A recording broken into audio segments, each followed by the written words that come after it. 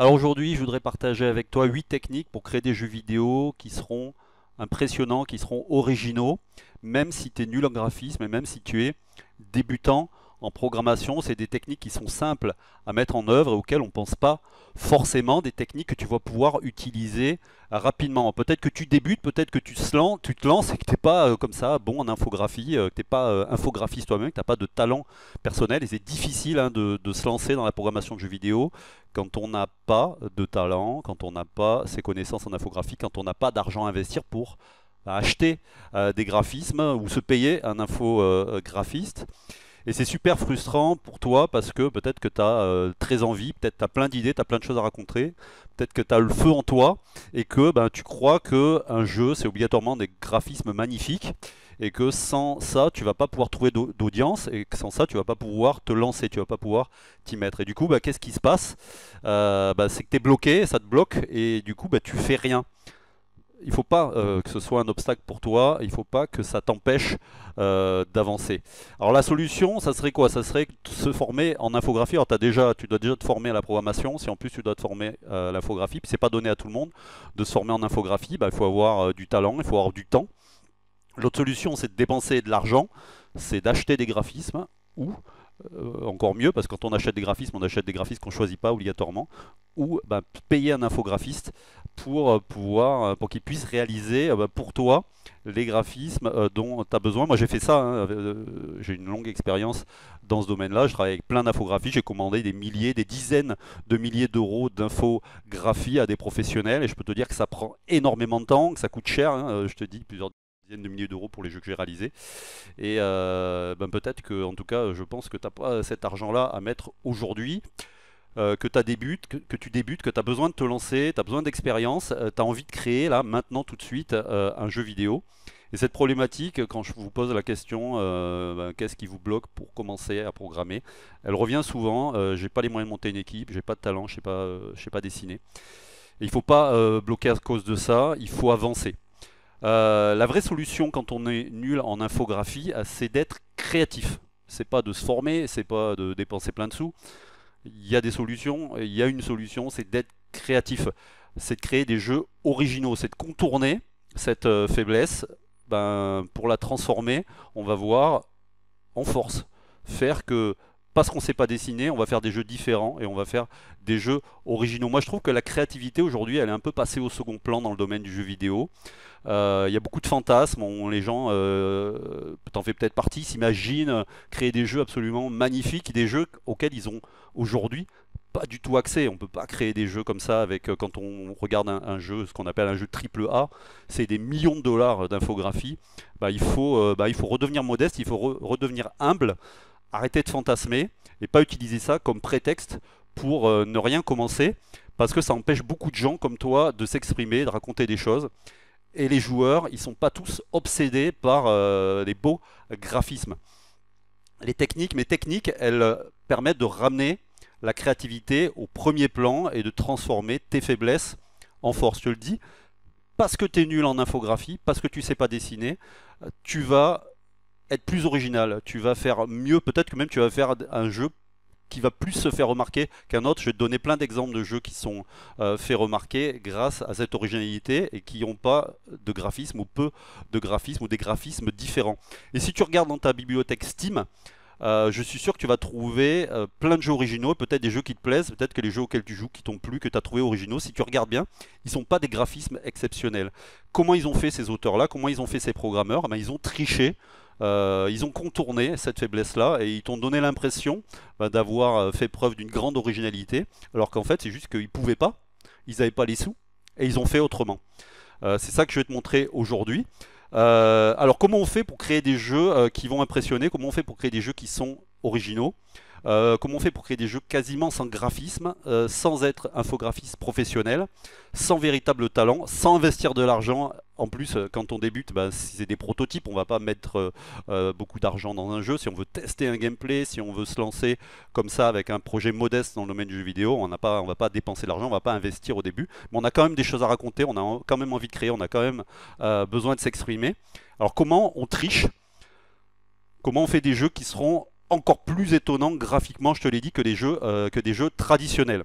C'est ça que je veux partager avec toi aujourd'hui. Ce que je voudrais te proposer aujourd'hui, c'est de te former à ces techniques. J'en ai listé plein. Euh, je, les ai, euh, je les ai échangé avec des gens, cherché des trucs. Je, je vais t'expliquer un petit peu tout ça. Et en plus euh, de ces techniques, de ces méthodes, je vais te former à mettre en application une des techniques les plus impressionnantes euh, de cette liste. Vraiment un truc euh, impressionnant qu'on va, retrouver notamment dans des jeux existants ou dans des jeux à venir et qui font parler d'eux. C'est la technique du billboard. On va voir ensemble dans cette vidéo qu'est-ce que c'est que cette technique. Et je vais te montrer les résultats que j'ai obtenus et que toi aussi tu vas pouvoir obtenir. C'est une des techniques euh, que j'ai listées et que j'ai vraiment approfondie parce qu'elle est vraiment importante et qu'elle euh, ben, rentre bien dans le cadre de ce que je te je t'enseigne, euh, de ce que je t'ai enseigné jusqu'à maintenant. Alors c'est pas du coup c'est pas un atelier que j'ai créé pour, euh, pour te former à cette créativité, à contourner tes, ses faiblesses pour les transformer en force. c'est deux ateliers auxquels tu pourras accéder dès, ce vendredi.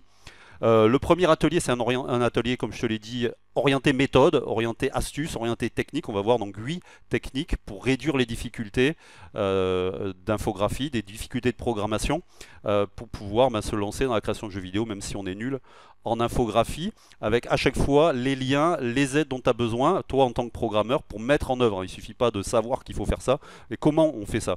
Euh, et le deuxième, donc c'est un grand atelier de programmation, pas à pas, pour mettre en pratique donc la plus impressionnante des techniques, on va en parler.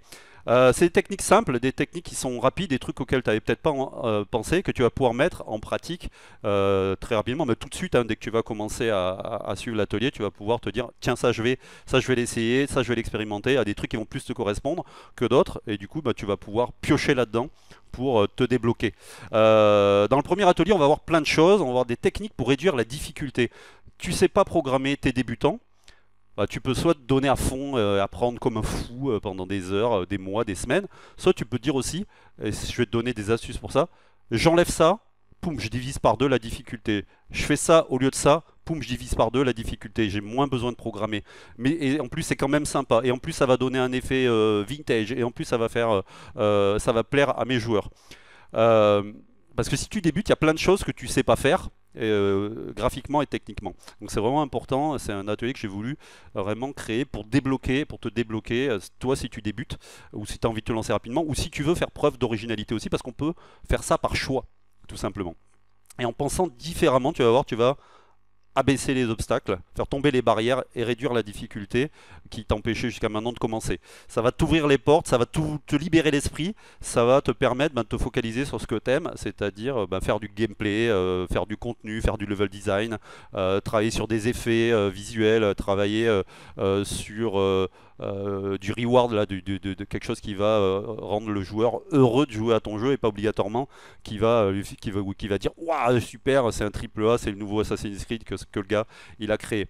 Donc, c'est des techniques qui vont réduire voire éliminer tes besoins en graphisme. Donc à chaque fois, je te donne des exemples, je te donne des références, je te donne des liens et je te donne des pistes techniques pour que tu puisses appliquer. Donc c'est un atelier méthode, il y a un support de cours de 27 pages euh, dans cet atelier avec des copies d'écran, des liens, etc. Mais je t'ai déjà tout dit tout ça. Et 5 vidéos de coaching. On passe à peu près une heure ensemble euh, à voir chacune de ces techniques et que je te, dis les avantages, je te montre des exemples, je te montre des vidéos euh, de jeux qui utilisent ces techniques-là, je te montre où trouver l'aide technique pour mettre en pratique. Dans le deuxième atelier, on met en pratique une des techniques, je te l'ai dit, pour créer un, un effet visuel qui est vraiment bluffant. Euh, c'est le billboard. Tu vas voir, on va mélanger 3D et 2D. On va faire de la 2,5D. Je sais que c'est un terme qui est un peu galvaudé, mais on va, voilà, on va, on va vraiment faire ça. On va faire un truc entre la 2D et la 3D. Et euh, du coup, tu vas voir que tu vas pouvoir faire un jeu presque 3D, enfin 3D, presque 2D. Euh, bah, du coup avec tous les avantages de la 2D sans les difficultés la 3D on va coder ça en pur code euh, comme on sait euh, faire chez Gamecoder pas à pas à côté de moi je te montre tout et tu vas voir donc comment tu vas mixer tout ça L'idée c'est de plus prendre la tête avec des modèles 3D animés. C'est super dur hein, de faire des modèles 3D animés. Déjà ça coûte un bras de commander des modèles 3D. Ça coûte beaucoup en effort de programmation.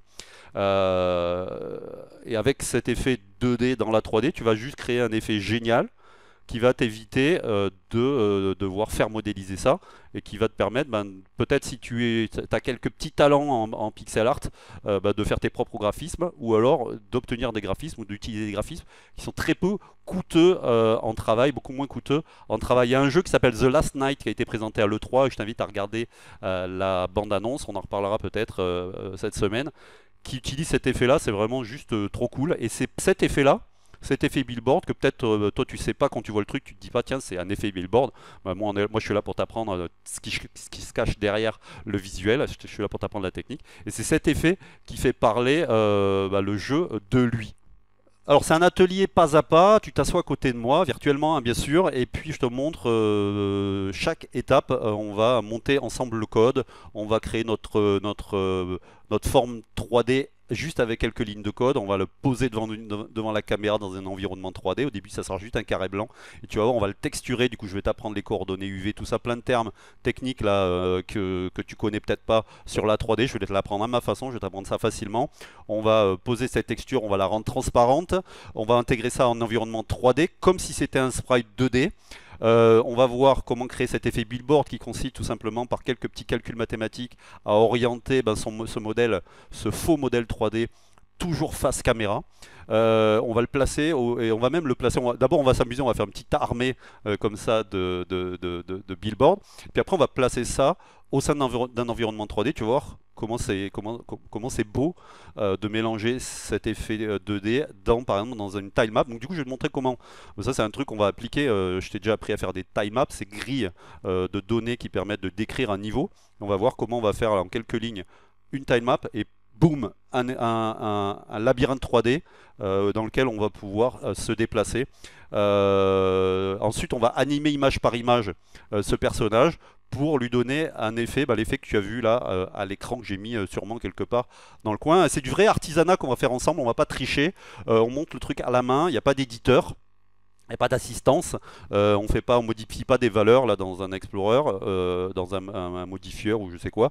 On, tape des petites lignes de code et tu vas voir à quel point ben, c'est facile et en quelques lignes, ben, quand on sait programmer, on peut créer ce genre de choses sans s'emmerder avec des outils lourds. Euh, c'est toi qui maîtrises absolument tout du coup, hein, puisque c'est du code, et en plus, c'est beau.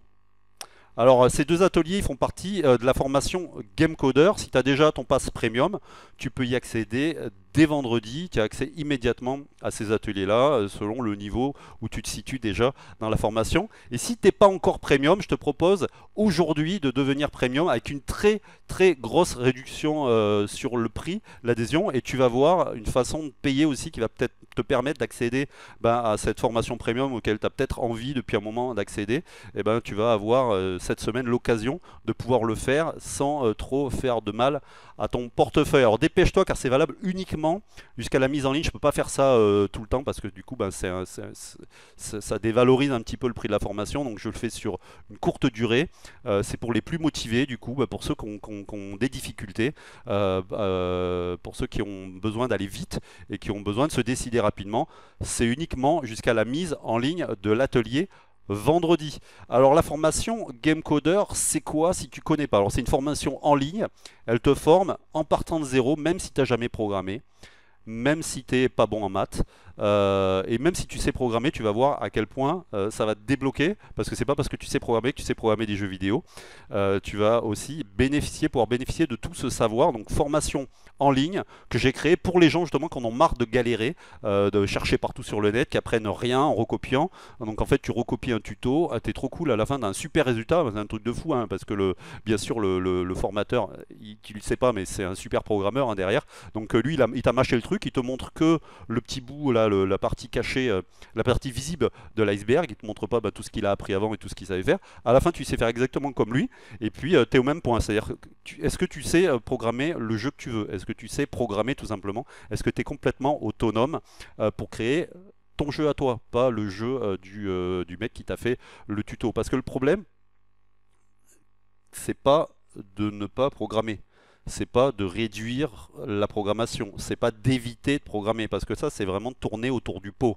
Euh, c'est au contraire d'apprendre à programmer d'accepter l'idée qu'il faut apprendre à programmer et d'accepter l'idée que tu peux apprendre à programmer, c'est pas un truc de fou, c'est pas un truc pour les experts, pour les bacs et les machins. Ça, c'est ce que certains veulent euh, essayer de te faire croire. Alors bien sûr, c'est pas simple, euh, bien sûr, il va falloir travailler, euh, mais tu peux vraiment y arriver et c'est vraiment accessible à tous. Hein, je l'ai prouvé et je vais te le prouver. reste avec moi en te montrant bah, des témoignages, en montrant le résultat obtenu par des élèves qui ont suivi cette formation. Euh, il faut savoir comment ça marche derrière, même si à un moment donné tu vas utiliser des moteurs, même si à un moment donné tu vas utiliser des assistants si tu sais pas comment ça marche derrière, comment tu vas optimiser ton jeu, comment tu vas euh, faire preuve d'originalité, comment tu vas euh, faire des choix techniques qui vont rendre ça possible, comment tu vas te débloquer quand tu vas avoir un problème, quand ton jeu va planter. Si tu sais pas programmer, ça va te bloquer et tu vas te décourager. Tu vas juste te dire à un moment donné, c'est pas pour moi, j'arrête, j'y comprends rien, euh, c'est censé être facile et c'est dur. Non, c'est parce que tu as pris le problème dans le mauvais sens. Euh, alors cette formation, c'est pas pour tout le monde c'est pour les gens qui veulent euh, vraiment être autonomes. C'est les gens qui veulent être libres. C'est pas les gens qui veulent être des moutons et suivre un espèce de mouvement là euh, qui va faire, ben, comme je te l'ai dit, des gens qui savent au finalement, finalement pas programmer, pas créer les jeux qu'ils ont envie de créer, des, abandonneurs en force, des échecs en, en puissance. parce que recopier, je te l'ai dit, recopier des tutos, faire du tuto en recopie, c'est une erreur. Ce qu'il faut faire, c'est apprendre à faire du Lego, c'est-à-dire comprendre les concepts fondamentaux pour pouvoir les assembler. Un jeu vidéo, il est formé de différents concepts, euh, concepts fondamentaux. Il faut apprendre donc les concepts fondamentaux principaux, et ensuite il faut apprendre à les comprendre pour pouvoir tout seul te débrouiller et dire tiens ça c'est un concept fondamental, ça je peux chercher cette info, ça je peux le faire. Comment on fait ça? Trouver la bonne info, euh, utiliser le savoir qu'on a déjà pour le détourner, pour le transformer, pour créer quelque chose de nouveau. C'est vraiment ça que la formation euh, va t'apprendre. C'est des techniques, c'est des méthodes des pros en fait, les langages et les outils des pros. C'est euh, pas juste un outil, un logiciel magique euh, qui te fait croire qu'il peut tout faire à ta place. Ce qu'on ne dit jamais, je l'ai dit, c'est qu'il faut vraiment savoir programmer. Donc si tu veux vraiment apprendre à programmer, c'est avec Gamecoder, je te garantis que tu vas pouvoir le faire. Si tu sais programmer, une fois que tu sais programmer, il n'y a plus de limite pour toi c'est pas un savoir jetable, c'est pas un savoir qui te cache la réalité des choses, au moins tu fais face et euh, tu affrontes la difficulté et tu vas voir que finalement cette difficulté, à un moment donné, tu vas passer un cap et tu vas dire mais c'est pas une difficulté finalement. Finalement putain je m'éclate, finalement je sais programmer, finalement j'avais pas compris ça avant, finalement je savais pas faire ça avant et maintenant j'y arrive. C'est la partie la cachée de l'iceberg que tu vas affronter et que tu vas pouvoir décrypter, dépioter, comprendre pour pouvoir l'utiliser pour toi pour pouvoir l'utiliser comme une force. Euh, juste attention, ça prend du temps. Encore une fois, je ne vends pas de la magie, c'est pour les motiver, euh, c'est pour les vrais passionnés. Euh, si tu cherches une méthode magique, c'est pas ici. Moi, je vends pas de la magie. apprendre à programmer, apprendre à faire des jeux vidéo, ça prend du temps. Tu voudrais devenir menuisier, ça te prendrait du temps. Il n'y a pas une formation en deux heures. Apprends à devenir menuisier et à construire, à devenir ébéniste et à construire tes propres meubles. Non, ça n'existe pas. Par contre, tu vas avoir des résultats en quelques semaines. Alors ça sera modeste, euh, ou des fois au contraire ça va t'impressionner. Tu peux euh, les voir en regardant les créations de mes élèves. Chaque mois on fait une game jam. Il y a déjà plus de 300 jeux qui ont été réalisés. Une game jam c'est quoi? C'est un exercice collectif euh, ben, où chacun doit programmer un jeu vidéo sur un thème donné. Alors un prototype de jeu vidéo doit expérimenter, essayer quelque chose. Tu verras aussi en utilisant pas mal de techniques pour éviter d'utiliser plein de graphismes, de créer plein de graphismes. Et euh, il y a certains qui ont créé des jeux vraiment impressionnants seulement après un ou deux mois d'apprentissage. Tu peux voir, vraiment voir ça, hein. c'est pas euh, juste moi qui le dis, tu peux constater, tu peux jouer à ces jeux, tu peux les télécharger, tu peux voir ce que les élèves ont dit. Je fais des lives tous les mois pour montrer aussi les créations des élèves, j'aime bien ça. Et tous ces jeux, ils ont été programmés à la main avec des vrais langages de programmation qui sont reconnus dans l'industrie du jeu vidéo. Alors bien sûr, c'est des outils qui sont gratuits et qui sont vraiment reconnus. C'est pas euh, un truc euh, qui a que toi qui va utiliser ou un truc magique que j'ai créé que pour, pour les cours c'est vraiment les langages, je te l'ai dit, les outils, les techniques euh, des pros. Faut que tu comptes ensuite entre 2 et 6 mois pour réaliser tes premiers prototypes euh, de jeux vidéo et pour vraiment te faire plaisir, pour vraiment t'éclater et faire quelque chose. Euh, ça va te prendre quelques heures par semaine, si tu peux plus c'est bien.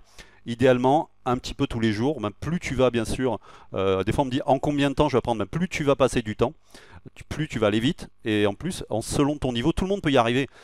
Si tu es moins bon que les autres, tu vas mettre plus de temps. Si tu es meilleur, tu vas mettre moins de temps. Et du coup, bah, il n'y a pas de temps, il euh, n'y a pas de durée euh, comme ça prédéfinie. Euh, moi, je te dis, voilà, La moyenne, c'est entre 3 semaines et 2 mois. Tu vas vraiment te sentir à l'aise en programmation. J'ai des, témoignages sur le site que tu peux consulter. Euh, j'en ai reçu encore deux ces deux derniers jours que je voulais te lire.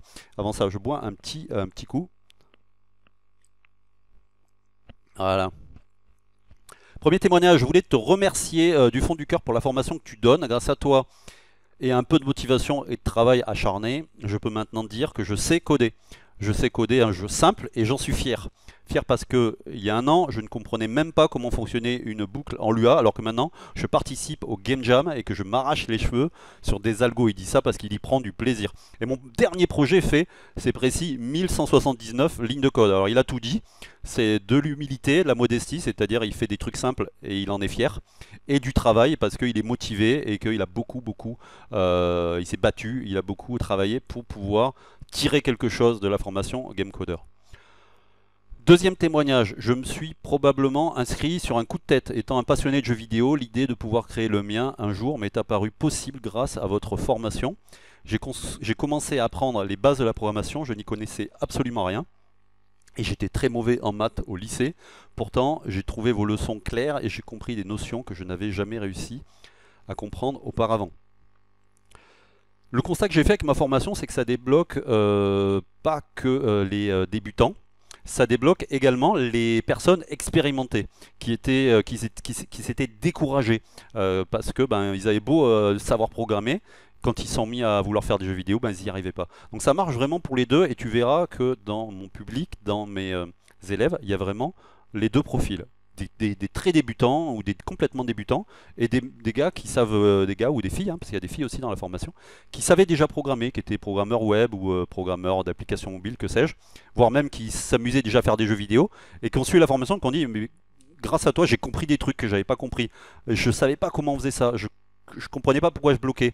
Euh, je faisais fausse piste, ça, ça revient beaucoup. Je faisais, fausse route. Euh, j'étais sur une fausse piste. Je faisais fausse route et maintenant je sais comment il faut apprendre. Et du coup, j'ai tout repris à zéro et maintenant, euh, maintenant j'y arrive. Et regarde ce que j'ai fait, j'ai fait tel jeu, etc.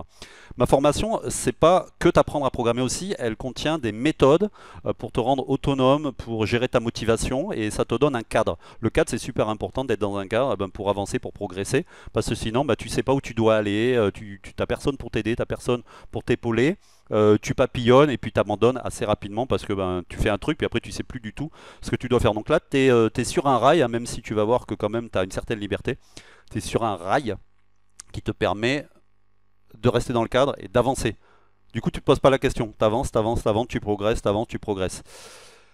Je te, dis, je te, dis, le sommaire de la formation et je te montre euh, tout ça même visuellement. Euh, d'abord, tu vas avoir un parcours euh, qui s'appelle toutes les bases de la programmation de jeux vidéo. Ça, s'adresse absolument à tous et c'est euh, des bases qui s'appuient sur un langage qui est très utilisé dans le domaine du jeu vidéo que certains ne connaissent pas, qui s'appelle Lua qui est utilisé même dans World of Warcraft, dans plein plein de jeux, dans des, modes notamment, euh, euh, dans beaucoup de jeux AAA, euh, même beaucoup de jeux qui sont développés, des jeux mobiles sont développés en Lua. Il y a plein de moteurs de jeux vidéo qui utilisent ce langage. Je vais te le faire découvrir. Il a un avantage, c'est que il est simple à comprendre. Il te permet de penser, de retranscrire facilement ta pensée en code. Et euh, ce que tu vas apprendre avec ce langage, c'est vraiment euh, sous forme de concepts universels que tu vas pouvoir ensuite transposer dans d'autres langages de programmation. C'est comme si je t'apprenais l'alphabet et que cet alphabet, bah, va te servir ensuite à parler, à écrire, à lire euh, dans plein d'autres langages. Donc dans ces bases, je, je, montre où ça en est la formation, parce que la formation, elle s'enrichit chaque mois, il y a des nouveaux ateliers. Donc je te montre où elle en est là actuellement. Euh, donc tu as un premier parcours des bases qui est d'ailleurs gratuit, euh, tu as peut-être déjà suivi cette formation-là toutes les bases de la programmation, c'est 3h10 de vidéo, un gros support de cours avec des exercices qui vont t'apprendre. Toutes les bases de la programmation, c'est 5 fondamentaux que tu vas devoir maîtriser et qui vont te servir toute ta vie euh, pour pouvoir ensuite euh, programmer. C'est un outil gratuit que tu vas installer. Du coup, tu te prends pas la tête, je te montre. Tu installes l'outil, tu, tapes ton code, tu fais play, tu vois le résultat. Et du coup, bah là, c'est un peu le solfège en musique. Euh, tu vas y passer un petit peu de temps, mais une fois que tu auras appris ça, bah, ça, va, ça va te rester. Et ensuite, tu vas le mettre en pratique. Et c'est en le mettant en pratique que tu vas pouvoir comprendre. Des fois, on apprend et on comprend pas trop à quoi ça sert. En mettant en pratique, dans la suite des ateliers. À chaque fois, je fais le lien. Je vais dire, tu vois, tu avais appris ça, je t'avais appris ça. Tu vas pouvoir maintenant le mettre en pratique. Et regarde comment on utilise la boucle. Regarde comment on utilise un tableau. Regarde comment on utilise une variable de ce type. Euh, c'est toujours faire le lien entre une connaissance et un besoin. Euh, voilà, les connaissances ça sert à rien si tu sais pas à quoi ça te sert. Euh, tu vas apprendre les images, tu vas apprendre comment on les positionne, tu vas comment, comment on les scale, comment on les fait tourner, etc. Euh, tu vas apprendre ce que c'est que les formats. Il y a des trucs que tu sais peut-être déjà, des trucs que tu vas apprendre. on va faire un premier gameplay ensemble, c'est un casse-brique. Tu vas voir, c'est 120 lignes de code, tu fais un casse-brique et du coup tu pourras ensuite bah, le faire évoluer, le rendre plus beau, plus intelligent. Mais tu vas voir que c'est très simple ce casse-brique, vraiment, il met en pratique ce que tu as appris avant de manière très simple et de dire ah, ça, ça sert à ça, ah, ça, ça sert à ça. Et puis tu fais bouger un truc à l'écran, c'est quand même vachement sympa de commencer très rapidement, donc dès euh, la première semaine ou la deuxième semaine, si tu te débrouilles bien, à faire un premier gameplay. Ensuite, je t'apprends à faire voler un vaisseau, du coup on va voir les bases d'un moteur de physique que tu vas programmer à la main. Ce que je veux te montrer, c'est que tu arrives à faire des trucs que tu croyais compliqués, et en fait, euh, finalement, c'est simple. C'est-à-dire que tu vas gérer de l'inertie, de la rotation, etc., alors que tu pensais qu'il fallait des maths, tu pensais qu'il fallait un moteur de physique, et non, tu vas le coder, trois lignes de code, une ligne de code, un calcul. Euh, on va voir ça ensemble et du coup bah, tu pourrais faire un jeu type astéroïde si tu connais un petit peu ce genre de type rétro, ce genre de type de jeu rétro. Il y a 6 vidéos, ça dure 47 minutes. Euh, c'est tout simple. Et ça fait plaisir, ça fait plaisir parce que tu rentres très rapidement dans le vif du sujet. Après tu vas prendre plein de fondamentaux à chaque fois, je t'apprends un fondamental et je te, mets, je te permets de le mettre en pratique dans un truc. Par exemple, je t'apprends à intégrer des sons et des musiques. Ben, pour ça, je te fais faire un petit infinite runner avec un personnage, tu sais, qui court avec un scrolling euh, horizontal, euh, parallaxe et qui est capable de faire des sauts. Tu vas voir, hein, tu es, dans le début de la formation, tu peux déjà faire ce genre de choses, ben, bien sûr, avec euh, intégration de son et de musique, gestion du clavier, voilà, tous ces trucs. on va revoir du coup un petit peu la physique, celle que tu avais utilisée pour le vaisseau, ben, comment elle va te permettre à faire, faire sauter un personnage juste en 2-3 lignes de code. T'as pas besoin, c'est-à-dire tu vas, au lieu de passer deux heures à apprendre à utiliser un truc dans un éditeur euh, drag and drop machin, un savoir que tu vas, qui est complètement jetable, qui ne te servira plus jamais à rien dans ta vie le jour où tu vas changer d'éditeur, tu vas voir que en code, parce que tu sais programmer, tu peux le faire en trois lignes. Moi, quand j'ai un saut à programmer, à aucun moment j'utilise un moteur de physique. Parce que du coup, le saut, c'est exactement, c'est moi qui le gère ce saut. C'est moi au pixel qui, sait, qui fait qu'il y a telle force, telle inertie, etc. Et non pas ben, un moteur de physique qui va le faire à ma place et qui va je vais passer 3 heures à changer les valeurs dans un moteur de physique, alors que je pourrais euh, programmer le truc moi-même. Pardon. Après, on va voir les time maps, c'est un concept hyper fondamental. ça sert à créer des niveaux. Que tu fasses des jeux 2D, 3D, tu avec les time maps, elles sont toujours là, elles sont omniprésentes. On va voir ensuite comment se déplacer sur une time map, comment on va gérer ces premières collisions. Du coup, on va voir comment on va utiliser des concepts de programmation, encore une fois, les tableaux, les grilles, pour faire du gameplay. On va programmer un shoot them up, hein. c'est un des ateliers préférés de Gamecoder. On va programmer un shooter complet avec des tirs, des explosions, euh, des, tourelles qui vont tirer dessus. Du coup, tu vas revoir comment on va gérer les angles, tu vas gérer du scroll, tu vas gérer les collisions. Et tu auras fait un vrai jeu complet. Là, c'est 3h20 de vidéo, 16 vidéos, euh, pas à pas. Tu t'assois à côté de moi, je te montre ça je te disais des tourelles, mais ça va plus loin dans un jeu. Si tu veux vraiment faire un vrai jeu, bah, tu vas devoir donner vie à des personnages extérieurs, des personnages non joueurs, des ennemis, et tu vas devoir les rendre intelligents. Et tu vas te dire, ouais, mais l'intelligence artificielle, c'est un truc de fou, euh, il faut, avoir fait maths sup. Pas du tout, tu vas voir qu'il y a un concept très simple qui s'appelle la machine à état, qui te permet de rendre intelligent un petit élément, une petite entité dans ton jeu. Et je vais te montrer ça à travers une dizaine de vidéos, ça dure 1h50 simplement. Tu vas donner vie à une horde de zombies euh, qui vont, euh, tu vois, tu ton personnage, qui se déplacent à l'écran et ces zombies ils vont le voir, ils vont le sentir, il y a des zombies qui vont avoir des comportements différents euh, tu vas voir du coup comment avoir des comportements différents dans des personnages de ton jeu tu vas voir le zombie, il va dire ah tiens euh, je sens un humain, humain, cerveau et il va se précipiter vers lui. Vers lui. Les autres euh, zombies qu'est-ce qu'ils vont faire? Ils vont dire ah il y, a un zombie qui a l'air d'avoir flairé un truc, je le suis. Et ils vont le suivre, à un moment donné ils vont dire ah je vois ce qu'il a vu, il a vu un humain, on va aussi le bouffer etc. On va voir du coup ben, comment ton personnage il va avoir des blessures, comment il va avoir de l'énergie qui baisse c'est de l'intelligence artificielle, c'est des bases de l'intelligence artificielle, c'est-à-dire que tu ferais une école, on t'apprendrait les bases de l'intelligence artificielle, on t'apprendrait ça, et moi je te l'apprends de manière très simple, et du coup ben, tu vas pouvoir mettre ça en œuvre dans plein d'autres jeux vidéo. J'ai des élèves qui ont, utilisé cette technique-là, tu n'es pas obligé de faire des zombies. Euh, d'une fois on m'a dit, ouais mais tu fais des trucs euh, euh, violents, c'est violent, pourquoi des zombies? Fais des papillons, remplace tes zombies par des papillons qui vont euh, aller euh, butiner une fleur. C'est exactement la même chose à toi de transposer. Et je t'apprends toujours à transposer. C'est pas parce que je te montre comment on fait un truc que tu peux pas le transposer. Ensuite, on va, tu vas faire ton premier euh, pixel shader, un shader pour faire un effet visuel. Et je t'explique ce que c'est qu'un effet visuel, comment c'est bien d'en mettre plein dans ces jeux. Ensuite, tu vas euh, apprendre à construire, je vais aller un, peu plus loin, apprendre à construire ta pensée pour créer un jeu vidéo. Comment il s'organise, comment on structure son code, comment on rend son code évolutif. On va le faire avec une console virtuelle qui s'appelle la Pico 8 que je t'offre euh, pour chaque adhésion pro. Tu as une Pico 8 qui est, qui est offerte, ça vaut une quinzaine d'euros. Et c'est un outil génial qui contient un éditeur de code, un éditeur de map, un éditeur de graphisme. Du coup, ben, c'est un super outil d'apprentissage. Et je te montre avec ça, du coup c'est hyper simple, c'est hyper fun.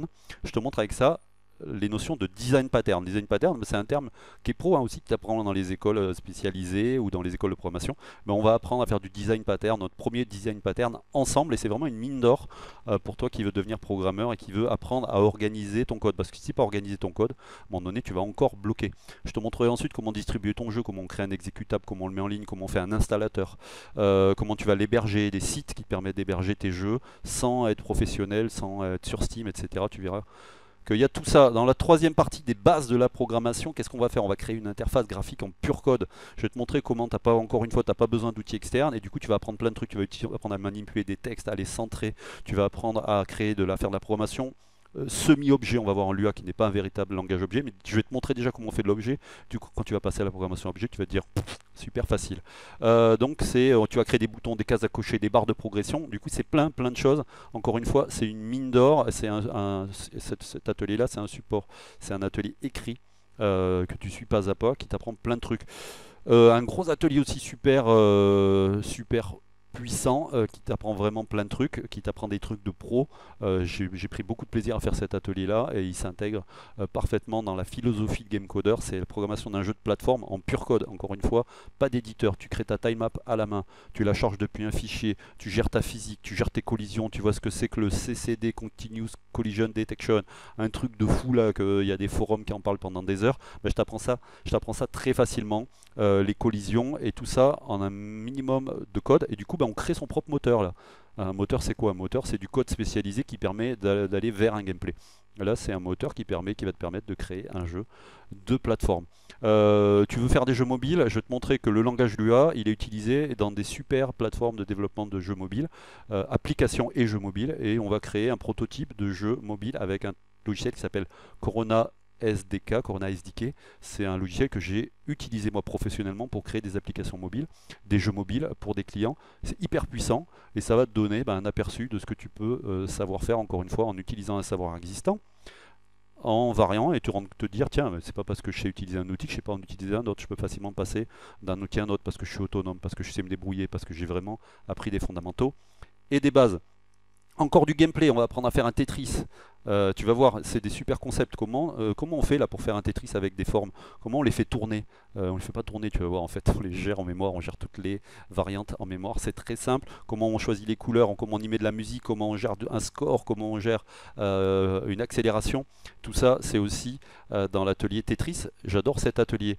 les finger games, tu sais ce que c'est? C'est tous ces jeux mobiles qui se jouent avec un doigt. Je vais t'apprendre à en faire un. Il est super connu. Il s'appelle Don't Touch the White Tile ou un truc comme ça. Don't Step, je sais plus. Il a un nom comme ça, puis il a plein de clones. Euh, tu vas voir que tu peux euh, le faire en 45 minutes, tu vas coder euh, ce gameplay. tu vas pouvoir ensuite retranscrire ça et en faire un autre jeu. Tu vas, ça va t'ouvrir l'esprit, tu vas voir. Tu sais ce que c'est que la génération procédurale C'est un concept qui te permet de créer du contenu automatiquement par programmation. Un codeur maintenant, tu, à ce stade-là, tu sais déjà programmer. Je vais te montrer comment tu vas générer. Tu vois, ce donjon-là, c'est le donjon de Binding of Isaac. Tu vas gérer ça par programmation. Euh, pareil, en quelques lignes de code, tu vas faire, on va te montrer, je vais te montrer avec des schémas, comment tu pars d'une salle et tu construis un labyrinthe. Et ensuite, je te montrerai euh, plus loin comment euh, ce labyrinthe-là que tu as créé pour l'instant juste en mémoire sous forme de données, ben, comment tu vas te balader dedans avec un personnage, comment tu vas changer de salle, comment tu vas mettre un boss, comment tu vas mettre des clés pour ouvrir des portes. encore un super atelier qui va te t'apprendre plein de trucs. Euh, une petite pause euh, poétique, euh, le twinning, encore une fois, c'est des fondamentaux. Tu sais pas ce que c'est ce mot, tu devrais, parce que si tu travailles dans le jeu vidéo, si tu fais des jeux vidéo, à un moment donné, il y a toujours un mec qui va te dire est-ce que tu as fait du twin? Le twinning, c'est une façon d'afficher des images de manière à ce qu'elles se déplacent à l'écran avec un effet fluide. C'est juste à chaque fois une petite formule mathématique. Accélération, ralentissement, bah, tu as déjà vu ça. Du coup, je vais te montrer comment tu vas faire un menu pour ton jeu qui va utiliser du twinning. Encore une fois, l'algorithmique comme la génération procédurale, on va voir comment on génère un labyrinthe. On va utiliser un algorithme qui s'appelle le Deft First Search et du coup, je vais te débloquer aussi, je vais t'apprendre que ça existe, je vais t'apprendre qu'il y a de l'algorithmie évoluer, pousser, qui permet de générer du contenu pour un jeu. Et cet atelier-là, tu vas pouvoir t'en servir plus tard pour gérer aussi des donjons type roguelike. On verra comment on génère des salles, comment on les relie ensemble. On va faire, on va animer des trucs. cet atelier, il est, juste génial. Ensuite, allez, tu as des ateliers un petit peu hors parcours. Euh, je passe rapidement. Bah, celui que je t'ai dit, euh, c'est euh, une, masterclass qui te montre comment le truc que je t'ai montré juste avant, la, la génération procédurale, bah, tu vas pouvoir faire un, un Dungeon Explorer. Euh, c'est une grosse masterclass où si vraiment tu as vraiment envie d'aller euh, de pousser un peu ton apprentissage, tu vas me regarder faire et tu vas euh, apprendre plein de choses, encore une fois, faire le lien entre concept, programmation et gameplay. On voit comment utiliser d'outils, on s'amuse à créer nos propres, effets sonores. Ensuite, on passe à la suite, tu vas apprendre le C Sharp. C Sharp, tu as déjà dû en entendre parler. Si tu ne sais pas, c'est un langage super puissant qui est notamment utilisé aujourd'hui dans Monogame, qui est en train d'être utilisé dans Godot, qui est utilisé dans Unity. Euh, donc on utilise Monogame de manière à rester toujours très libre. On n'est pas un mouton, on n'utilise pas euh, des outils magiques qui font les choses à notre place. On est dans du pur code et on programme à l'ancienne. Euh, et programmer à l'ancienne, c'est comme ça que la plupart programment encore aujourd'hui. Et c'est pas du tout un mot péjoratif, c'est au contraire une force, une grande force que tu vas avoir de savoir programmer comme ça parce que tu vas prendre la programmation objet en dehors d'une usine à gaz qui va t'empêcher de comprendre ce que tu fais. Et tu vas utiliser juste le moteur qui était celui de la Xbox jusqu'à maintenant et qui est d'ailleurs soutenu encore par Microsoft. Euh, et ce framework il est puissant, il permet de faire des jeux pour Windows, pour macOS, iOS, Android, Linux, Ouya, PS4, PS Vita, Xbox One et même Switch, puisque récemment il y a un jeu qui sort sur Switch. On lui donne notamment euh, des jeux comme Fez ou euh, Towerfall Ascension. Tout ça c'est fait avec Monogame et tu vas apprendre à t'en servir. Tu vas utiliser Visual Studio, Visual Studio, le truc de pro. Tu vas voir que c'est pas du tout un truc de pro que tu vas t'en servir. Toi aussi, euh, ça c'est un, parcours qui est encore en train d'évoluer et c'est avec ça qu'on fait notamment ce que je t'ai dit tout à l'heure, le billboard, le labyrinthe. On fait un Dungeon Master en 3D grâce à tous ces concepts-là. Tu apprends les bases de la programmation C Sharp, la programmation objet, des concepts avancés, euh, les images en C Sharp. Tu vas voir comment ce que tu faisais en Love 2D avec l'UA là dans, dans les bases, tu vas pouvoir faire exactement la même chose avec un, langage beaucoup plus évolué on va faire les bases d'un Lunar Lander et tu vas revoir comment ce que tu as fait, là, voler un vaisseau, faire voler un vaisseau dans, le, dans, la première parcours, tu vas faire la même chose, encore une fois, en C Sharp. Du coup, tu vas faire le lien, tu vas dire, ouais, bah, je savais faire ça, maintenant, je me rends compte que je peux faire la même chose en C. Son et musique, du coup, encore une fois, on refait la même chose. Et après, on, va on, évolue, on va plus loin, on fait de la 3D isométrique, on fait de la 3D en pur code. On apprend vraiment à charger, afficher des modèles 3D. On apprend ce que c'est qu'une vue, qu'est-ce que c'est qu'une qu'une projection, on apprend qu'est-ce que c'est que le monde d'un modèle 3D, euh, on apprend ce que c'est qu'une matrice, on apprend ce que c'est que des rotations de matrice. On fait tout ça ensemble, on met des effets de brouillard, on fait une caméra. Euh, ça t'ouvre les portes de la programmation 3D, la vraie programmation 3D, tu sais comment ça se passe et tu peux même essayer, tu peux même si tu veux continuer à utiliser euh, ce genre de technique et faire de la 3D sans éditeur, tu verras et on est en train de faire le billboard et tout. Bon, je t'ai déjà dit ça à l'heure. Le full screen, je passe rapidement. Euh, un gros atelier, une mine d'or, c'est la même chose que, ce que je t'ai fait en Pico 8. C'est comment tu vas construire un jeu en C Sharp avec Monogame. On va apprendre à utiliser les interfaces, la programmation objet. On va apprendre comment pas abuser de, la programmation objet. Euh, tu vas créer un prototype de jeu qui va te permettre de faire plein de gameplay différents, qui, va intégrer tout, un menu, des boutons. Euh, c'est une base qui va te permettre de commencer très rapidement n'importe quel type de jeu. Euh, en C Sharp avec Monogame. Le twinning, on y revient là. Une super masterclass, on fait, euh, on fait des combats d'intelligence artificielle, on fait combattre des robots. J'ai fait un gros live là-dessus il n'y a pas longtemps. Euh, on charge des, mails, des, maps à partir de taille. Et ça, ça évolue là. J'en suis, ici là. construire un jeu en C Sharp avec Monogame. Maintenant, on construit un vrai jeu en 3D avec un Dungeon Explorer, un, un Dungeon Master, c'est le truc, mais avec un mélange de 2D et de 3D. Ça, c'est le deuxième parcours. Euh, ensuite, tu vas te diversifier si tu veux aller encore plus loin. Ça ne s'arrête pas. Il y a vraiment, euh, je te dis, c'est une mine d'or cette formation. Si tu veux vraiment travailler ton expertise, devenir très bon en programmation. Tu vas partir à la découverte de nouveaux moteurs, de nouveaux frameworks, de nouveaux langages. Tu vas apprendre à passer d'un langage à un autre. Euh, tu vas apprendre le JavaScript. Tu vas apprendre Axe. Et pour t'apprendre le langage Axe, je vais t'apprendre comment on aborde un nouveau langage de programmation, comment on cherche la doc, comment on fait le lien entre ce qu'on a déjà appris et euh, ce qu'on va apprendre, euh, comment on voit si un framework, un moteur est euh, pérenne, s'il est encore en train d'évoluer, pour ne pas faire l'erreur de choisir un outil qui n'est plus utilisé? On va voir du coup avec ce langage Axe comment on va utiliser un moteur, hein, c'est quasiment un moteur Xfixel, qui va te permettre en 30 lignes de code par exemple de monter les bases d'un jeu de plateforme. Vas voir à quel point c'est fun d'utiliser un moteur, c'est-à-dire un langage de programmation, plus une couche de code existant qui te fournit tout pour faire des collisions, les timemaps, etc. Donc ça, ça permet de voir qu'il y a autre chose, euh, qu'il y a des choses que tu vas pouvoir expérimenter, des choses qui vont peut-être te plaire, que d'autres ne connaissent pas, qui vont te donner envie, qui vont te donner le feu euh, pour pouvoir t'exprimer. Et on va programmer aussi un Mario-like avec Axflixel. Qu'est-ce qu'on va encore apprendre? On va passer à Unity si tu veux vraiment apprendre un langage. Un langage.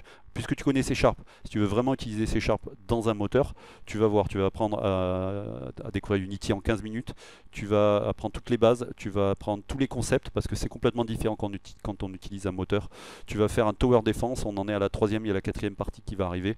Tu vas construire des tours, euh, lisser des parcours, euh, créer des monstres. On est en 2D, ensuite il y a des ateliers 3D qui vont venir sur Unity. Euh, si on parlait d'infographie encore, si tu veux faire du pixel art, j'ai une initiation pixel art, c'est les Forges qui avaient créé ça et qui l'ont. C'est un atelier, euh, une série d'ateliers qui ont été mis à jour pour Gamecoder. Euh, et du coup, moi aussi, je produis, euh, il y en a encore à venir, des petits ateliers pour te permettre de faire l'animation image par image et de faire du pixel art. avec, avec du pixel art, avec des outils notamment aussi, je te montre les outils que tu vas utiliser. Je te parlais de méthodologie et de développement personnel. Tu vas aussi apprendre ben, à garder la motivation. Je vais t'apprendre comment construire ton portfolio. Qu'est-ce qu'il faut vraiment que tu maîtrises si tu veux notamment euh, pouvoir sans diplôme intéresser un jour un recruteur. Euh, tu vas t'organiser, gérer un projet en solo. Tu vas avoir des méthodes pour garder la motivation. Tout ça, euh, c'est aussi, il y a plein plein plein de vidéos. C'est aussi très très important qu'il n'y ait pas que la technique, euh, bah, si tu si es démotivé, si tu sais pas t'organiser, si tu sais pas te concentrer, la technique ça sert pas à grand chose. Ben, c'est pour ça qu'il y a aussi ça euh, dans euh, Gamecoder. je m'adapte, j'adapte beaucoup aussi la formation Gamecoder aux besoins de ma communauté et aux besoins de l'industrie. Donc il y a une presque roadmap, je dis ça parce que moi je suis assez libre aussi, je m'adapte très rapidement, je suis plutôt souple. Et donc, euh, je commence à projeter là dans le futur pour que vous sachiez. Euh, je vais faire des sondages aussi, il y a des sondages qui arrivent, euh, pour que je puisse m'adapter à vos besoins. Vous aurez aussi accès à un Discord. hop, si je cache ça, vous allez voir aussi. Là, il y a 61 personnes alors qu'on est le matin en France. il y a aussi du chat. qui vous permet de discuter avec les élèves connectés et un channel Discord privé pour les premiums où il est très actif, où il se passe beaucoup de choses, où il y a de l'entraide. Il y a la Game Jam tous les mois, il y a déjà plus de 300 jeux, bientôt 400 euh, euh, jeux qui, ont été, qui auront été réalisés. Il y a tout l'historique ici avec à chaque fois, vous pouvez aller voir les jeux réalisés par les élèves et y jouer. Du coup, ben, vous voyez vraiment ce qu'on peut faire en suivant la formation puisque c'est réservé aux élèves premium. En ce moment, il y a celle-là, la euh, Game Coder Game Jam 15 sur le thème de gestion simulation. Il y a déjà 54 inscrits, il y a déjà 4 jeux et ça finit dans 6 jours et je les aide. Je, fais ici une fiche euh, de d'aide. À chaque fois que je fais une jam là depuis quelques temps. Euh, je t'aide, je te propose une approche, euh, je te fais des vidéos là pour faire même pour créer les graphes, je t'explique le fonctionnement d'un SimCity, je t'explique comment gérer le temps dans un jeu vidéo, comment on génère un terrain, etc. De, manière à ce que tu puisses pas me dire ouais mais la, game jam elle est trop compliquée, je sais pas faire, c'est pas encore mon niveau. Fais, pratique même si tu es nul encore, même si tu viens de commencer, je t'aide. Euh, les élèves, ils s'expriment aussi, tu peux aller voir ce qu'ils font. Comme ça, encore une fois, c'est pas moi qui dis c'est trop cool la formation Gamecoder. Euh, tu vas voir ce que font les élèves, tu vas sur l'onglet Devlogs. Un devlog, c'est quoi? C'est comme un blog de développeurs. Eh ben, les élèves, c'est tout nouveau, d'ailleurs je fais évoluer le site rapidement, euh, régulièrement. c'est tout, comment dire, des petits billets qu'écrivent les développeurs élèves de Gamecoder sur l'apprentissage et notamment sur les jams. Là, c'est beaucoup sur la jam. On voit la progression, on voit ce qu'ils font. Et du coup, bah, il y a des commentaires, il y a de l'entraide. Euh, pour, euh, tu vois, là par exemple, hop, je vois qu'il y a six commentaires, on va aller voir. Donc lui, il dit ce qu'il fait, il montre des, images de l'évolution de ce qu'il est en train de développer. Euh, c'est vachement bien ça. Et, oh, c'est trop cool. Voilà, on voit ce qu'il est en train de développer, cet élève, euh, c'est un truc SF, j'adore les trucs de SF. Et puis on voit voilà les commentaires, et tu peux aller euh, commenter, tu peux échanger, du coup tu peux voir ce que les autres font, et euh, les autres peuvent voir ce que tu fais, et du coup c'est assez cool. Voilà pour le sommaire de la formation. On continue. Euh, il y a le C++ également qui arrive d'ici la fin de l'année euh, pour encore plus de liberté, plus d'indépendance et pour les fous. C'est pour les fous le C++. Tu vas voir que c'est pas un truc de fou, c'est juste un truc, euh, ben, langage. C'est le langage ultime, hein, c'est un peu le, le, Graal du programmeur. On va voir comment on va l'apprendre. Moi, c'est mon langage de prédilection.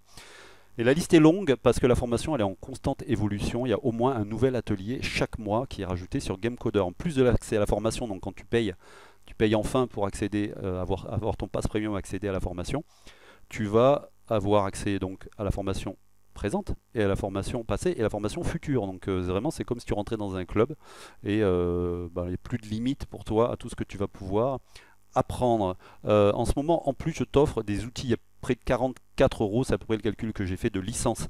Une Pico 8, c'est le truc que je t'ai dit tout à l'heure qui permet de créer des jeux vidéo là, à l'intérieur d'une console virtuelle. Pixel Edit, c'est un outil de pixel art. TIC80, c'est un ordinateur virtuel super bien aussi, qui permet aussi de créer des jeux en JavaScript ou en Lua et de les diffuser très rapidement sur le net euh, sous forme de jeux web en fait, pour les mettre dans une page. Et la Pixel Vision 8, qui est une console dont l'auteur m'offre des licences pour vous aussi à tarif préférentiel. Et du coup, bah, c'est des vraies licences, hein, ce que je c'est euh, des licences officielles qui sont issues d'un partenariat entre Gamecoder et les auteurs de ces licences. Alors, cette formation elle est disponible à un prix vraiment exceptionnel. Je t'invite vraiment à te poser la question si cette semaine c'est pas le moment de passer à l'action parce que c'est uniquement jusqu'à vendredi, c'est à moitié prix pour tout le monde avec en plus un paiement échelonné pour la euh, formation à vie, c'est-à-dire tu payes, euh, tu payes et ensuite tu n'as plus rien à te soucier, tu fais à ton rythme, tu accèdes à la formation premium à vie. Bon, je ne peux pas être plus clair, hein, c'est le nom de la formation, c'est Premium Pro à vie. Euh, avec cette formation, tu seras enfin à l'aise avec la programmation et tu sauras par quoi commencer. C'est le premier problème qu'on va attaquer ensemble. C'est par quoi je commence? C'est moi qui te dis. Je te dis par quoi on commence. Et cette formation, je te l'ai dit, c'est pas uniquement t'apprendre à programmer, c'est t'apprendre à programmer des jeux vidéo, c'est d'apprendre à faire le lien entre programmation et gameplay. C'est vraiment ça la clé.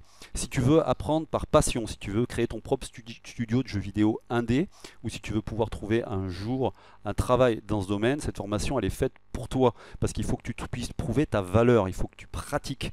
La pratique elle est indispensable, elle te permettra de passer d'amateur à professionnel ou à expert ou ce que tu veux, ou en tout cas à développeur indé. Elle va te permettre de gagner en crédibilité, elle va te permettre de gagner en assurance cette formation, elle va te permettre de démontrer ce dont tu es capable. Je suis sûr que tu es capable de plein de choses. Euh, tu vas ressentir vraiment le plaisir de voir naître tes idées. Tu as un truc dans ta tête. Moi, je t'apprends avec des connaissances, avec de la programmation, avec des techniques, avec des méthodes, à utiliser bons outils pour donner naissance à ces idées. Si tu as vraiment envie de faire ça dans la vie, je te conseille de t'y mettre à fond, de t'y mettre vraiment. Et au bout du chemin, ce que tu vas obtenir, ça dépasse sûrement toutes tes espérances. Je peux te garantir que tu vas obtenir des résultats si tu fais vraiment ce qu'il faut. Tu vas passer de créateur, de, consommateur à créateur. Et euh, c'est peut-être ce que tu avais envie. Hein. On parle de, je dis souvent, passer de l'autre côté du miroir. C'est un plaisir immense de créer euh, ses propres jeux vidéo. Le prix de cette formation, je te dis, si je vendais 20 euh, euros chaque atelier, elle vaudrait plus de 800 euros. Aujourd'hui, ce que je te propose, c'est 180 euros. Et en plus, tu peux payer en plusieurs fois pour accéder à toute la formation. Et sinon, euh, si vraiment euh, tu, veux quelque chose de souple, tu peux même payer par mensualité, c'est-à-dire un abonnement récurrent. Tous les mois, bah, tu payes et du coup, tu as accès. Je te conseille vraiment de choisir l'abonnement pro à vie. Comme ça, tu pourras faire ça à ton rythme. Tu n'auras plus besoin de, de poser de questions euh, sur il faut que je me dépêche ou quoi, ou est-ce que je paye ce mois-ci, il faut que je m'arrête, je peux plus, j'ai pas de sous. Et en plus, ça s'enrichit chaque mois. Donc vraiment, tu rentres dans un truc qui continue. Ça fait plus de deux ans maintenant que GameCoder évolue et euh, ça fait que se développer. Il y a près de 1000 élèves qui sont passés premium. Euh, c'est vraiment efficace. C'est impossible que tu n'y arrives pas si tu fais vraiment ce qu'il faut. Et la preuve, c'est les résultats obtenus par les élèves. Et tu peux même aller leur poser des questions. Moi, je te dis, je peux rien te dire de plus demande, regarde. Donc ce que je veux, c'est qu'elle soit accessible à un maximum de gens, cette formation. C'est pour ça que je ne la vends pas 20 euros l'atelier, c'est pour ça que je ne la vends pas 800 euros. Alors j'en trouverai des gens prêts à payer 800 euros. Hein. Il y a des gens qui sont prêts à payer pour aller vite, il y a des gens qui sont prêts à payer pour se former rapidement. Mais il y en a plein qui n'ont pas les moyens. Et moi, ce que je veux, c'est que GameCoder soit vraiment accessible à un maximum de gens. Je te dis, il a plus d'aujourd'hui plus de 1000 personnes qui sont passées euh, premium. Cette formation, c'est un condensé comme ça, accessible à tous pour un prix modique. C'est 30 ans d'expérience de la pratique de la promotion, c'est ma propre expérience que je te transmets. 10 ans d'expérience dans le domaine du jeu vidéo, j'ai produit plus de 25 euh, jeux, euh, j'ai une grande expérience en coaching, en consulting, en programmation, j'ai monté des équipes, en formation, j'ai formé des gens. C'est un savoir très concret qui est basé euh, sur une expérience personnelle qui est proche de la tienne. Si tu suis cette vidéo, si tu n'as pas de diplôme, si tu sors pas d'une grande école, moi j'ai appris seul, je, comme on dit, je suis un self-made man, man et j'ai pas de diplôme et pourtant j'ai occupé des postes à responsabilité que j'ai obtenus avec mes griffes, avec des petites griffes euh, de débutants, euh, d'amateurs. Je suis passé d'amateur à professionnel et ces techniques, tous ces obstacles-là, je vais t'éviter de te les prendre dans la tronche ben, en t'accompagnant vraiment. Euh, c'est une méthode qui donne d'excellents résultats. Essaye, essaye, tu verras. C'est pas une méthode miracle, c'est pas une méthode magique. Euh, moi, je vends pas du vent, je vends du savoir et je t'explique comment tu vas mettre en pratique ce savoir et je t'explique comment tu vas pratiquer. Je te pousse et je te motive et je t'assiste pour que ce savoir, tu le transformes en quelque chose de concret. Tu vas devoir travailler et ensemble, on va réussir. Tu vas voir, on va obtenir des résultats. Tu vas me dire, euh, certains me disent encore, tous les trucs que tu apprends, on peut les trouver gratuitement sur Internet. C'est faux, faux, archi faux. On peut trouver des trucs gratuitement sur Internet et tu es libre d'apprendre gratuitement. Tu vas galérer, mais tu peux y arriver si tu veux aller vite, si tu veux faire euh, encore une fois rentrer dans un cadre, euh, moi la réalité c'est que ce que j'enseigne, la matière que j'enseigne, la manière dont j'enseigne, 45 ateliers, 46 aujourd'hui. Il y en a un ou deux par mois, de plus, t'imagines, qui fait partie d'un tout, qui a une logique, qui suit une progression, avec des exercices, avec une communauté d'entraide, avec du support, ben, à aucun moment tu pourras trouver ça sur internet, c'est que GameCoder qui le propose et c'est pour ça qu'aujourd'hui ben, GameCoder fait de plus en plus parler de lui. Et en plus ben, je suis assez fier parce que c'est moi euh, euh, qui, ai créé GameCoder, c'est moi par conviction, euh, par passion, par envie, par vocation qui me suis dit je vais créer quelque chose de nouveau, je vais créer quelque chose de différent et j'ai créé GameCoder ça va être rapidement rentabilisé pour toi parce que ça va te faire gagner du temps. Euh, le temps, c'est de l'argent. Je ne sais pas si tu as des semaines de 100 heures, moi, j'en ai pas. Et euh, donc, du coup, ben, en allant droit au but, ça va te permettre d'économiser des jours, des semaines, des mois euh, de temps perdu. Tu veux prendre des cours particuliers avec un prof de maths ou de prog à 20 ou 30 euros de l'heure, dépense 180 euros, euh, même le prix normal de la formation c'est 360 euros. Dépense 360 euros en cours particulier, tu vas voir que tu vas même pas couvrir 10% de ce que je peux t'apprendre avec GameCoder tu comptes suivre une école spécialisée, une formation dans une école spécialisée qui coûte un bras, hein, qui coûte 5, 10 000 euros, euh, ben, la formation elle va t'assurer un niveau qui va t'éviter de rater tes examens, qui va te permettre de passer par exemple l'examen d'entrée, qui va te permettre de survoler l'année que tu vas passer ou les deux années que tu vas passer en programmation parce que ben, tu auras appris des trucs qui vont vraiment te débloquer. Euh, tu vas être aguerri, tu vas être plus fort que les autres, je peux te le garantir et ça va te permettre d'économiser des milliers d'euros parce que ben, si tu rates, euh, que tes parents ils t'ont payé une école spécialisée et que tu rates ça, euh, c'est beaucoup d'argent perdu. Comment ça se passe? L'atelier, les, formations, donc c'est des ateliers avec des supports de cours, c'est majoritairement en vidéo, avec à chaque fois le support, le, code source qui t'est euh, fourni. C'est découpé en modules, ces modules je les appelle des ateliers de formation, c'est comme ça, j'ai choisi mon propre vocabulaire.